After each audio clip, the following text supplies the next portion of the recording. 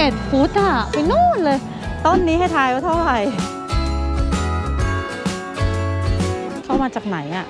น่าจะเล็กสุดคงมีแค่นั้นอะที่เขาหิ้วเห็นไหมเป็นร้านที่ขายอุปกรณ์ตกแต่งบ้านเกี่ยวกับบ้านเนี่ย ใหญ่ที่สุดในอเมริกาด้วยนะคะ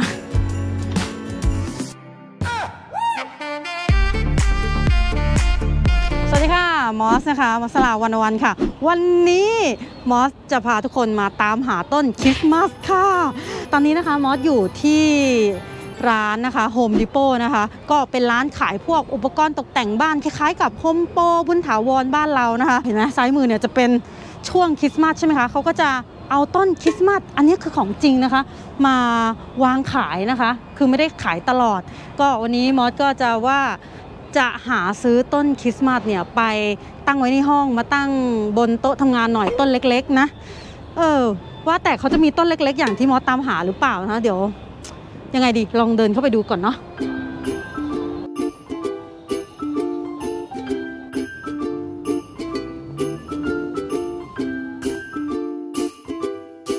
เนี่ยเห็นไหมคะ พอพอได้ต้นคริสต์มาสที่เราต้องการแล้วนะคะ เราก็เอารถมาจอดตรงนี้แล้วก็ขนนะคะ แล้วก็จะมีเจ้าหน้าที่เนี่ยเขาก็จะมามัดอยู่บนท้ายรถเราให้ ตอนนี้นะคะมอสมาอยู่ในโซนที่เขาขายต้นคริสต์มาสที่เป็นของจริงนะคะ เดี๋ยวมอสกำลังมองหาแบบ Hey, this is ต้น Chris เล็ก Lang ๆหน่อยเนาะ wishing you a Merry Christmas. เอาแบบไหนดีมีหลายแบบมาก อันนี้นะคะเป็นต้นไซส์ 6 ฟุต ถึง 7 ฟุตนะคะเขาขายอยู่ที่ 54 เหรียญนะคะ ตัวมอสอะสูง 5 5.3 ฟุตนะคะ ก็สูงกว่ามอสอันนี้จะเป็นใบแบบนี้ มันจะมีหลายแบบ มันจะนิ่มๆหน่อยเห็นไหม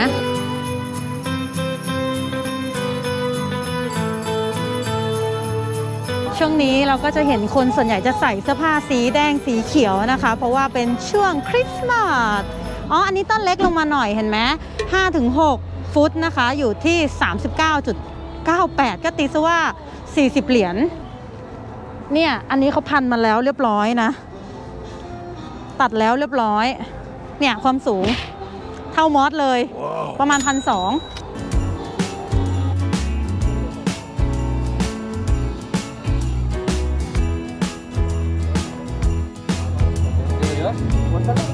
อันนี้เป็นโนเบลเฟอร์นะคะ เห็นไหมมันจะใบแข็งๆหน่อยนะคะ ก้านก็จะสั้นๆหน่อย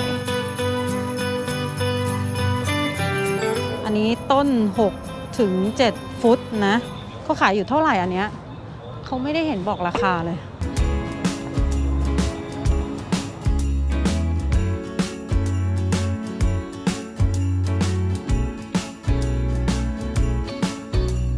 มอสอยากรู้ว่า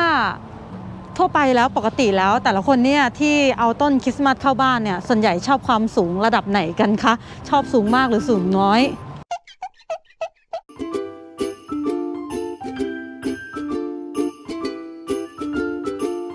นี่อันนี้เป็นต้นใหญ่นะคะ ขนาดประมาณ 10 ถึง 11 ฟุตอะไปนู่นเลย ต้นนี้ให้ทายว่าเท่าไหร่ ต้นนี้ประมาณ 250 เหรียญนะคะ นี่ ใหญ่มาก ต้นนี้นะคะ 7,500 บาท เอ้ย อันนี้ อันนี้เล็กหน่อย เจอแล้วเฮ้ยเบามากเลย เป็นไง อันนี้เล็กกระทัดรัดนะคะ ไซส์นี้เนี่ยเขาขายอยู่ที่ประมาณ 30 เหรียญนะคะ ประมาณ 900 บาท เออแต่ว่าเราซื้อไปเราก็ต้องหาเนี่ยเป็นกระถางใส่กระถางก็ขายแยกอีกหรือเปล่า แล้วก็เสียบไปอย่างเงี้ยปึ๊บมานี้ แต่มันถึงมันจะดูเล็กแล้วนะ แต่มันก็ยังดูใหญ่ไปสำหรับมอสนะ เดี๋ยวลองไปดูข้างในของ Home Depot ไหมว่าเขาจะมีอันเล็กๆกว่านี้หรือเปล่า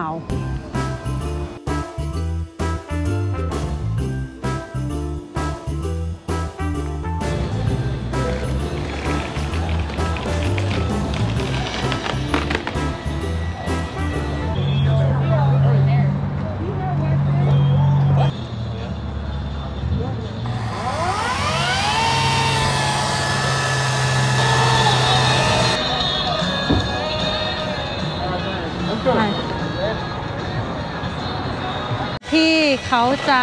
ห่อต้นคริสต์มาสนะคะ เห็นไหมห่อพันเหมือนของขวัญเลยเหลือ อันนิดเดียวนะคะ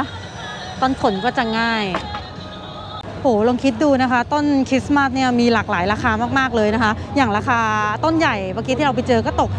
7,500 บาทนะคะ แล้วต้นเล็ก ๆ แบบนี้อันนี้ประมาณ 20 เหรียญนะคะ หรือประมาณ 600 บาท เขาบอกว่าในแต่ละปีเนี่ยขายได้ประมาณ 20 ล้านต้นต่อปีนะ คือเยอะมาก แต่ลองเปรียบเทียบจำนวนประชากรในอเมริกาก็มีประมาณ 300 ล้านกว่าคนนะคะ ก็ถือว่ายังไม่ได้เยอะมากเท่าไหร่นะคะ จริงๆแล้วนะคะต้นคริสต์มาสอะเขามีฟาร์มขายหลายที่นะคะ แต่ว่าที่มอสพามาที่เนี่ยเพราะว่ามันอยู่ใกล้บ้านมอสนะ แล้วก็เนี่ยค่ะมันก็ง่ายต่อการซื้อเนาะสำหรับคนที่อยู่ในเมืองนะ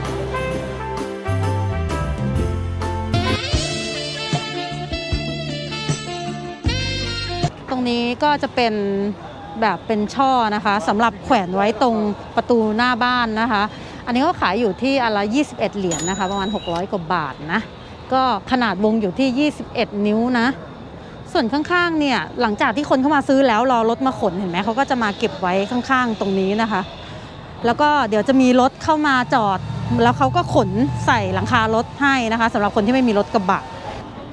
อันนี้เขาก็ได้ต้นคริสต์มาสกันไปแล้วนะคะ คือต้นคริสต์มาสจริงเนี่ยเขาบอกว่ามันมีอายุอยู่ได้นะคะประมาณ 4-5วีคนะคะประมาณเดือนเดือนนิดๆนะคะ ก็เสร็จแล้วก็ต้องทิ้งไปนะคะมอสว่าถ้าเราซื้อต้นปอมเนี่ยเราก็สามารถใช้ได้หลาย ๆ ครั้งเนาะเอาเป็นว่าเดี๋ยวเราไปหาดูต้นปอมกันดีกว่า แต่ว่าซ้ายมือมอสเนี่ยอันนี้ก็ต้นคริสต์มาสเหมือนกันนะ แต่ว่าจะมีดอกเฮ้ยมีดอกแบบสีเหลืองด้วยอะเห็นไหม มีดอกสีเหลือง ดอกสีแดงอะเขาขายต้นละ 7 เหรียญ 48 นะคะ ขนาด 6 นิ้ว โอเคค่ะ ตรงนี้ก็เป็นบรรยากาศด้านในของ Home Depot นะคะ ก็จะมีนี่ยค่ะเป็นของอตรงนี้เป็นโซนทำความสะอาดนะคะ อันนี้ต้นจริงหรือต้นปลอมทำไมเขาเอามาไว้ข้างใน อ๋อ ต้นจริงนะ เพราะว่ามันมีราก แล้วคริสต์มาสที่เป็นต้นปอมอยู่ตรงไหน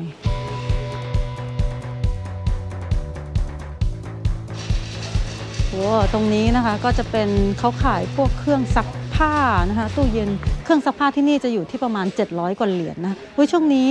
ช่วงคริสต์มาสเขาก็ลดราคานะ อย่างตู้เย็นอันเนี้ย1,700เขาก็ลดไปเกือบ 200 เหรียญนะเกือบ 6,000 เลยเห็นไหมคะ ตรงนี้ก็จะเป็นพวกอุปกรณ์ช่างนะคะ เป็นพวกอะไรอะที่ตัดอะไรเหรอ ตัดเหล็กมั้ง ใช่ไหม ตรงนี้ก็เป็นพวกสว่านเจาะอะไรนู่นนี่นั่นเนาะส่วนใหญ่คนที่มาเดินอะก็จะเป็นพวกช่างนะคะเขาก็จะมาเดินหาซื้อของที่นี่ผู้ชายที่ดูอยู่อะก็อาจจะชอบนะ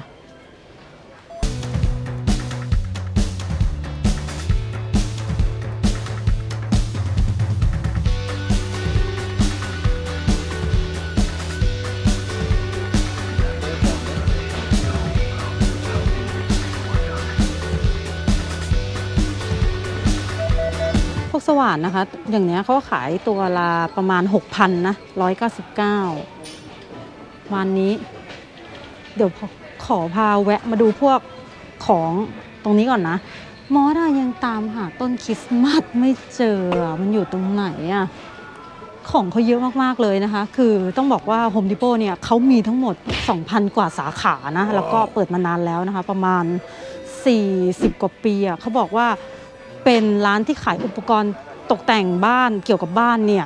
ใหญ่ที่สุดในอเมริกาด้วยนะคะ โอ้โห เครื่องมือช่างอะไรบ้างเนี่ย มีครบทุกอย่างเลยนะคะ ลายตาจังเลย เพียบเพียบ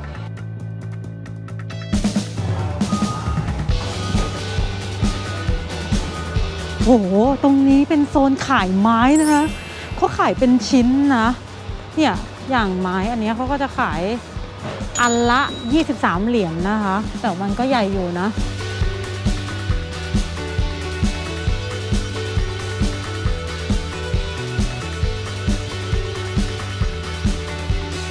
ก็มีเครื่องตัดไม้อยู่ตรงนี้เลยนะคะ เจอแต่ไม้นะคะ แต่ไม่เจอต้นไม้ แล้วต้นคริสต์มาสทรีแบบของปอมจะมีไหมเนี่ยข้างในเนี่ย ข้างนอกมันก็ใหญ่ไปนะ ตามกันต่อ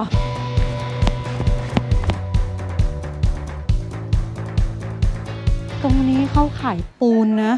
มาดูดิราคาที่นี่เขาขายปูนกระสอบละ เนี่ยค่ะเขาขายถุงละเจ็ดเหรียญประมาณ 200 กว่าบาท แต่จริงๆมันก็มีหลายราคานะ มีเจ็ดเหรียญแปดเหรียญ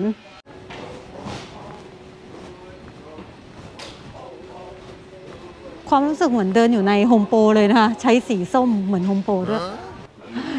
ต้นไม้ยังหาไม่ได้นะคะ ถ้าเรามีต้นคริสต์มาสเนี่ยเราก็ต้องประดับประดาไฟใช่ไหมตอนนี้มอสเลยมาได้พวกปลั๊กไฟเออเดี๋ยวนี้ปลั๊กสามตามันมีแบบที่เสียบ USB ด้วยเหรอ มันก็เพิ่งเห็นนะ หรือว่ามันอาจจะมีมานานแล้วปลั๊กไฟที่นี่ก็ประมาณเนี่ยค่ะเจ็ดเหรียญถ้าแบบอย่างนี้เลยนะสิบเจ็ดเหรียญทุกคนคะที่นี่มีทุกอย่างยกเว้น ฝักบัวชำระหรือว่าฝักบัวฉีดก้นไม่มีนะคะ เพราะว่าบางคนอะสงสัยใช่ไหมว่าทำไมช่วงโควิดปุ๊บฝรั่งอะเขาชอบกักตุนทิชชู่นะคะ แล้วหลายคนบอกว่า แล้วทำไมไม่ใช้ฝักบัวชำระคือเขาไม่มีขายถ้าอยากได้ก็ต้องหาซื้อออนไลน์ของพวก Amazon อะไรอย่างนี้นะ คิดดูว่าคนฝรั่งเขาแบบเหมือนยังไม่ชินกับการใช้ฝักบัวชำระฉีดก้นนะคะ เนี่ยไม่มีมีแต่ฝักบัวอาบน้ำ สรุปแล้วนะคะ ต้นคริสต์มาสปลอมไม่มีขายนะคะว่าถามไม่เจอนะคะ มีแต่ต้นไม้จริง โอเค เดี๋ยวเราไปจ่ายตังค์อันนี้ก่อน แล้วเดี๋ยวขอคิดก่อนนะว่า ไอ้ต้นข้างนอกเราจะซื้อดีไหม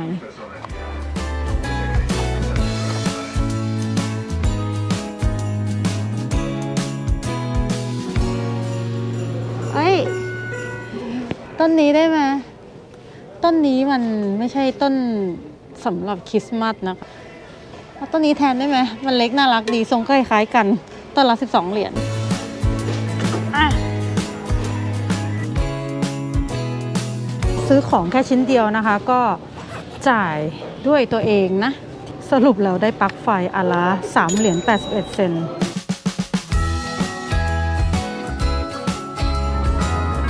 ใช่โอเค มอสว่าสรุปแล้วมอสไม่ได้ต้นคริสต์มาสนะคะ จริงๆแล้วก็อยากจะมีต้นคริสต์มาสกับเขาบ้างนะคะ ต้นคริสต์มาสก็คือต้นสนเราเนี่ยแหละค่ะ ก็อย่างว่าเนาะคือช่วงนี้ค่ะ ช่วงสถานการณ์โควิดเนี่ยมันก็กิจมันก็จะเงียบเหงาหงอยๆนะคะ ตอนนี้ต้นคริสต์มาสอะก็เลยอาจจะขายดีเพราะว่าตอนนี้เขาเป็นคำสั่ง stay at home นะคะ หลายคนก็จัดกิจกรรมกันอยู่ที่บ้านนะคะ ส่วนมอสก็ไม่มีใครซื้อให้เลยอะ เอาเป็นว่าเดี๋ยวรอของขวัญจากซันตาคอสแทนแล้วกันนะคะ โอเคค่ะ ยังไงวันนี้ก็ขอบคุณทุกคนนะคะ ที่ติดตามก็เอาเป็นว่ามอสอะได้พาทุกคนมาดูนะคะว่าต้นคริสต์มาสที่เนี่ยเขาขายเท่าไหร่ยังไงบ้างเนาะและอยากจะบอกว่าจริง ๆ แล้วตามข้อมูลเขาบอกว่าต้นคริสต์มาสจริงปีนี้ขายดีกว่าต้นคริสต์มาสปลอมด้วยนะคะ อาจจะเป็นเพราะว่าช่วงโควิดเนาะเขาบอกว่าคนอะอยากซื้อมาพอใช้เสร็จ 4-5 สัปดาห์ก็ทิ้งไปเลยนะคะ ก็โอเคค่ะ เดี๋ยวปีหน้าเราอาจจะได้ต้นคริสต์มาสใหญ่ๆ ใครซื้อมาให้ก็ได้เนาะโอเค บ๊ายบายค่ะ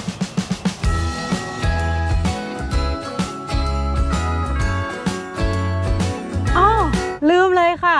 ถ้าเกิดว่าใครอยากจะให้มอสอะพาชมบรรยากาศคริสต์มาสปีนี้ปี 2020 ว่าเป็นยังไงในลอสแอนเจลิสก็คอมเมนต์มานะคะ ถึงแม้ว่าเราจะไม่ประสบความสำเร็จในเรื่องการตามหาต้นคริสต์มาสแต่ถ้าบรรยากาศเนี่ยมอสจะพาไป ดูได้นะ